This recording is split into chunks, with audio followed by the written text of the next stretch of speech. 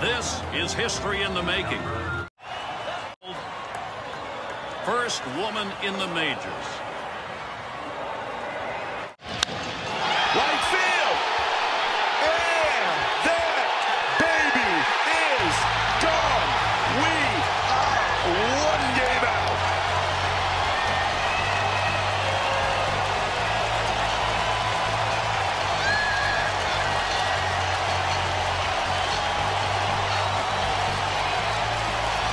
It's the first career walk-off homer for Matt Olson. The A's win a wild one.